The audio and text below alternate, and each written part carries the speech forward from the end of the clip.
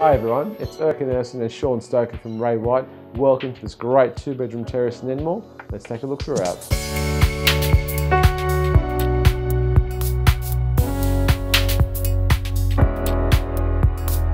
What I love about this house is that you've got that front terrace which makes the living space tucked off the street, extremely quiet, yet still lots of natural light comes through.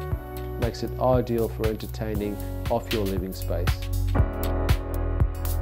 The living space is a great place to unwind and watch some TV.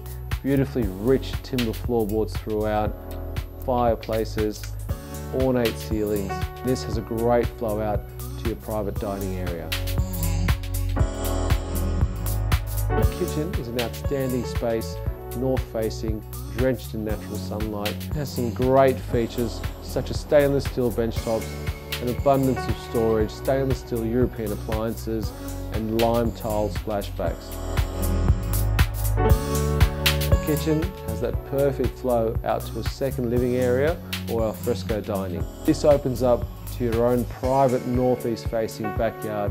All you need to do is put your own furniture in and enjoy some great summertime barbecues and drinks in this space. Upstairs, you've got two large double bedrooms, both with great storage options. The master opens out to your own private balcony.